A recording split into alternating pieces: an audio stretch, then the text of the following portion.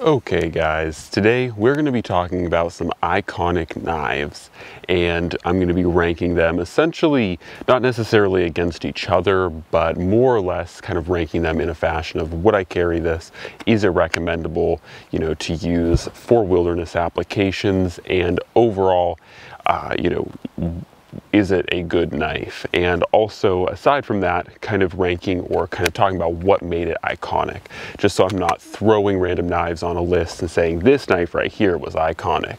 So as always, before we get into the video, please don't forget to comment, like, share, subscribe, check out the Patreon and the Instagram. All the support really means a lot. Okay, so the first of the iconic knives we're going to talk about, probably the most iconic one on the list, unarguably, is going to be the Ka-Bar.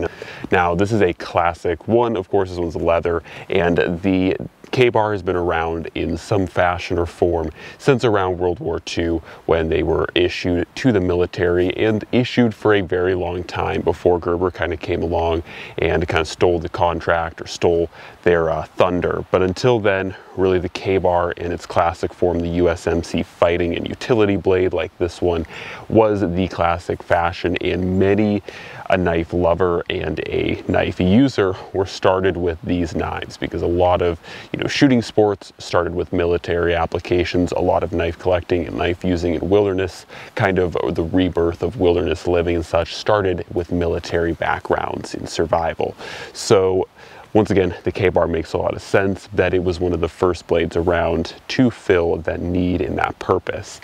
Now, that being said, does it is it a fantastic knife? I don't think it's necessarily the worst one on the list. I think some of the big props that the classic Ka-Bar has going for it is it's made out of a pretty good steel 1095 CV or chromium vanadium. So this is a 1095 alloy that uh, has slightly better edge retention, slightly better rust resistance. Now it's still definitely 1095, so it's not perfect, but the CV does help uh, out a little bit, or the extra chromium and vanadium do help out a little bit. So it definitely, as far as a steel goes, is a pretty solid steel, but that's essentially, so it has a good steel and it has a good blade length for most general wilderness applications, but unfortunately that's basically where the good things stop. This knife was definitely designed from the grounds up to be more of a fighting knife, so the handle itself is very homogeneous, and while in some regards that is a good thing for outdoor blades, it's not really a good design, this at least this ovular or this um, this kind of uh, design for a handle is not necessarily the best for um, wilderness use. Now, it's not necessarily unergonomic, but it is not the best for trying to hold a knife for long periods of time. Of course, being that this is designed to be a fighting knife, it kind of has more of a Bowie styled blade, so the tip is not as strong as on some of the other knives we'll talk about. And of course, this guard is designed for protecting your hand in a knife fight, but also really gets in your way when you're trying to choke up on the blade and do different finer tasks to manipulate the knife in different ways. Of course, too, there has been a lot of speculation and talk about the quality of these knives. Now, I have batoned and beat the heck out of my Ka-Bar, and I've never had any issues with it. As you guys can probably see, it does look pretty worn, but um, you know, I've never really had any issues with mine breaking. Of course, it's still in one piece, but the rat tail tang, even though it is still a full tang, is questionable of integrity because it is such a large reduction. You know, you have a blade that in width have a blade that in width is probably about, you know, an inch and a half, maybe an inch and a quarter, but then it really tapers down to less than an inch, it may be about, you know, a half inch at the rat tail tang. So you really lose a lot of blade strength when you taper the tang so drastically. So overall, I would probably not recommend it for wilderness use, especially because there are much better blades you can get out there nowadays. And even, uh, you know, there are different uh, synthetic options for the Ka-Bar, Still probably wouldn't recommend them. Of course, the leather option would probably be the worst for wilderness applications because when you have a leather sheath, leather handle, uh, those types of things tend to retain moisture and that leads to rusting. It leads to breakdown of the fibers of leather. And so overall, a lot of this knife is very destructible by the elements. So overall, not a very fantastic option. Okay, the next one up on the list is going to be the Fallkniven F1. Now the reason why this one made the list, I don't think that the F1 is as synonymous or iconic in, a or in America, but this is a pilot survival knife. It was designed for that purpose in mind, and that's what made uh, Fallkniven 1 uh, or one Fallkniven kind of put them on the map was the F1. You know, re the reason why we have actually heard a lot about Fallkniven is due to the F1 and its military use. So that's kind of, uh, this knife really put Fallkniven on the map and is kind of made itself or made Fallkniven iconic through this knife, similar to kind of Ka-Bar in a way. Okay, so what do I think about the Fallkniven F1? I really do like this blade, and as far as a kind of approval rating goes, I say it's kind of mixed because while this knife is marketed as a pilot survival knife, and in that application, this is probably a better survival knife, so this is probably a better knife than alternatives for other types of pilot survival knives, maybe like the LMF2. Uh, as far as it goes, this knife, similar to the LMF2 in my opinion, are just a little bit small for general wilderness and survival applications. This knife makes a pretty good size and is pretty good for, you know, smaller, maybe like camping, hiking, and bushcraft types of wilderness excursions. But as far as a survival knife goes, as it is marketed, I would probably recommend avoiding it in those regards. So while this knife does have some good merit to it, and the, the knife itself, as far as quality and build, is just fine. You know, you can really beat the heck out of it. And ironically, it does have a rather thick spine. So as far as, you know, being able to abuse this knife or even hard use this knife, I have very little doubt that it would perform well in any given application that, you know, requires strength or durability. It's just more a realistic kind of function of is this knife large enough to process good enough wood or a good enough amount of wood to sustain a fire overnight? Is this knife going to be large enough to take down wood or the type of wood that you would need or foliage to build a proper wilderness shelter? These are the questions you have to ask yourself, and I think that the F1 in those regards, once again, is not a bad knife, but just not built to those tasks. So the next one up on the list is a Cold Steel SRK, and I think that this blade has a pretty long-standing track record with a lot of uh, SAR or search and rescue teams in America and all over the globe. And I think that that is really what has solidified the name for the SRK, as the name stands for Search and Rescue Knife. This blade was originally designed by and for search and rescue teams, and uh, they were looking for a knife that would be, once again, a very good general purpose purpose blade if they needed to do anything like get someone out of a particular area or if they themselves got lost or into a predicament, uh, they could have a blade to hunker down, you know, build a light shelter, get some brush, start a fire, do whatever they realistically needed. That's what the SRK was originally designed to be, a search and rescue knife, something that uh, search and rescue teams could carry on them that would be, you know, pretty light, pretty minimal and still fully functional for wilderness teams. That being said, it is a very good survival knife and especially considering the price, at least for the more budget offerings. You know, of course, the CPM 3V option that was offered a while ago was a little bit more expensive. The Sanmai version is actually still pretty reasonable. It's just over a $100. And uh, this blade actually does borrow a lot from our earlier blade uh, manufacturer, Fallkniven, their version of the A or the Fallkniven A1 and the Cold Steel SRK bear some striking resemblances and I'm not sure you know who copied who but being that the Fallkniven F1 kind of already existed likely Cold Steel took some inspiration from the A1 and it's not necessarily a bad thing. The A1's a great blade and I think that the SRK is a really attainable way to get um, S or Fallkniven A1 performance in a budget version, especially if you go with the Sanmai version of the SRK, you're definitely getting a Fallkniven A1 like blade or a lot of the qualities that make that blade good, but for a fraction of the cost, about half the cost. So anyways, you know, copies aside, the Cold Steel SRK is still its own design, it is its own knife, but it is a very capable, very wilderness driven blade that I think is extremely hard to beat, especially if you think about any of the budget offerings. And if it wasn't clear enough already, I definitely totally recommend the SRK uh, for just about any type of wilderness excursions. You could push it into bushcrafting, not going to be the best. Once again, a blade like the Fallkniven F1 will perform better in those regards. Okay, let's jump into a little bit more. Most of the blades we talked about were kind of designed, developed in the 1900s, you know, late 1900s, obviously, like 1980s, 1990s uh, was when the Fallkniven F1 and SRK kind of came to be. But now we're jumping into the early 2000s with the Tom Brown or TB tracker made by Tops. Now, there are a number of companies that make trackers and of course clones of trackers, but uh, this is a true TB or Tom Brown tracker. And uh, if you don't want to get the custom trackers, this is the most attainable way to get a tracker.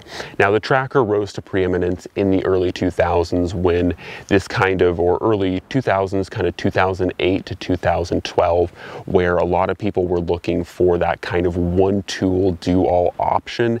And they thought the TB tracker would be that. And a lot of times you would see blades coming out with, you know, quarter inch thick steel, similar to the TB tracker, you know, just very built up, kind of really tanky blades. Now this has luckily kind of died off here now in, in the 2020s, you know, the 20 teens was a little bit popular, but uh, this, this was definitely a part of the trend or a part of the movement that you saw back then where you had this one tool option, uh, you know, it was kind of partially inspired by the Spetsnaz uh, kind of machete that had like an oxygen tank wrench. It was a machete. It had some other different functions in it.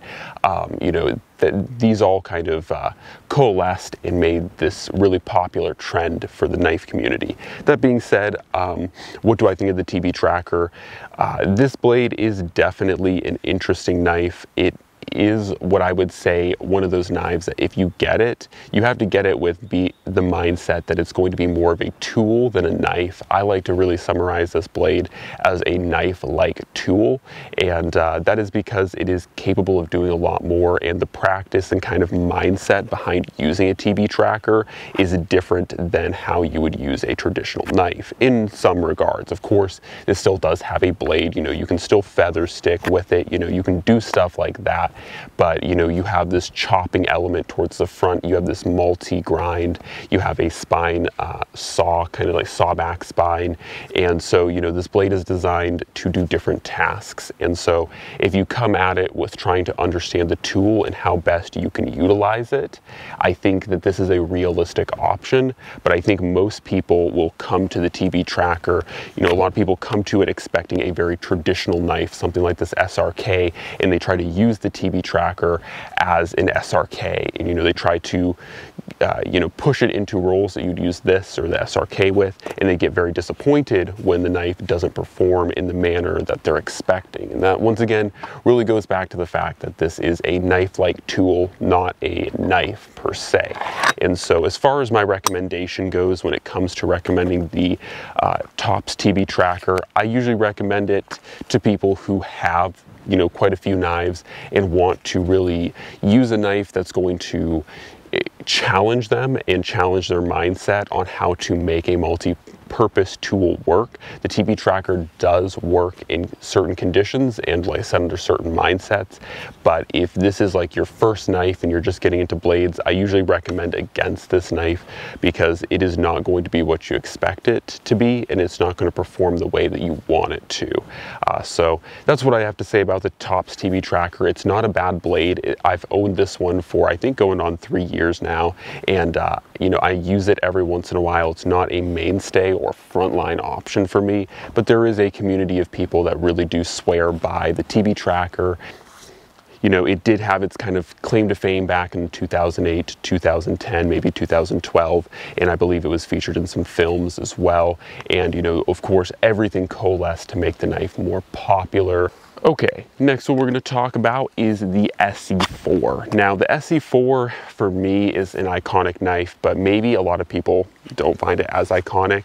But the ESEE-4 and the reason why I think it's iconic Iconic is that this is kind of the unspoken or kind of unofficial blade of SERE School. You'll see a lot of people that go, or if, if you're in the right groups and you know the right people, you'll see a lot of people that end up going to SERE School, end up using the uh, ESEE-4 throughout their training and time there. And the ESEE-4 for me is not my own personal favorite blade. Like I don't absolutely love the ESEE-4. I think it is growing on me more. I think it is a better knife than I originally thought, and it is still, I mean, it's always been a very capable blade. I just think that it's a little bit small for survival purposes, in my opinion, especially when you consider that knives like the ESEE-6 exist, which we'll talk about in a little bit. Um, I think that, you know, the ESEE-4 is, is a little bit underwhelming. I'd much rather either have an ESEE-3 or an ESEE-6. That being said, the ESEE-4, without a doubt, like I said, is still like the unofficial knife of SERE schools. So essentially, you know, they must be doing something right with this blade, and I think they are. I think it is a pretty good and pretty venerable option. It is a very incredibly tough knife, and I think that's why uh, a lot of people like it is because it's very hard to break and it's very robust and it's a reasonably compact size. You know, it's not as small as the ESEE-3, but it still gives you, you know, a little bit better, but still pretty darn compact. You know, you're not realistically going to be, um, you're not going to encounter any task that this blade or this size of knife can, you know, span that you won't be able to do. Once again, you know, trying to baton a piece of wood this long might be doable, just barely, you know, if you use literally every inch or every centimeter of the blade, you might be able to baton something like that, but overall, the ESEE-4 is not a bad option. I would certainly recommend it if you are looking for a very tough, very robust blade that is around this size length. And we'll get into a little bit the uh, Gerber Strong Arm, but if you are looking for a knife like around the same size as the Gerber Strong Arm, you know, the ESEE-4 is going to be very tough, very robust, and still actually give you a lot of really good slice ability or, you know, slicing because that full flat grind really does just pick up wood and just curl it. So really good at going, you're going to be really good, or this is going to be a really fantastic option. Now, I feel like the ESEE-6 doesn't fit into any specific or right or proper, maybe iconic point, but I feel like this blade is very iconic because I, I feel like uh, you see this knife a lot with search and rescue people, especially, you know, your more kind of seasoned people feel like you see a lot of these uh, ESEE-6s with a lot of experienced search and rescue people. You see them a lot on YouTube. And uh, overall, the ESEE-6 is a very, very solid knife. So while I can't necessarily say an exact point that makes this iconic, I feel like I see the ESEE-6 in a lot of places. And it's because it is such a venerable, such a good multi-role blade. Would I recommend it? Absolutely, every day, all day. The only thing I really dislike about the ESEE-6 is that out of box, unless you make modifications, you cannot strike a ferro rod off the spine of this blade. So you do have to modify it in that regard, but it's not a super hard modification. And obviously I would definitely recommend making that modification. But once you do that, you know, you have a good size blade length for doing a wide variety of tasks. And this is a very capable knife. And it has, it borrows a lot lot of its toughness and resilience from things like the ESEE-4, ESEE-3. All the ESEEs are built very tough and really hard to break. So this is a fantastic option and I would absolutely recommend an ESEE-6 to just about anyone. Okay, so essentially that was the end of the iconic blades. Hopefully you enjoyed taking a look at some of these knives and uh, you know, kind of going over what made them iconic and whether or not I recommended them. A lot of them are solid, and of course, iconic blades kind of come to be because a lot of people end up using them and end up finding them to be good blades for their own personal uses and their own personal missions, objectives, and so on. So a lot of iconic blades are pretty darn good, but of course a lot are also not. So do always be wary. You know, I'm not saying to just buy into the fact that, you know, thousands of people use or like a particular knife. That doesn't necessarily mean it's a great blade for you or your application, but at some point too, they might be onto something as well. So as always, guys, God bless, and I'm out.